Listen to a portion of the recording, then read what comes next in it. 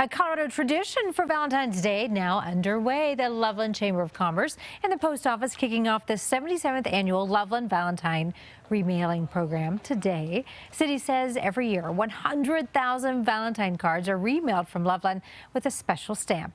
For National Mail outside of Colorado, those cards must be received by February 7th and in-state cards by the 9th.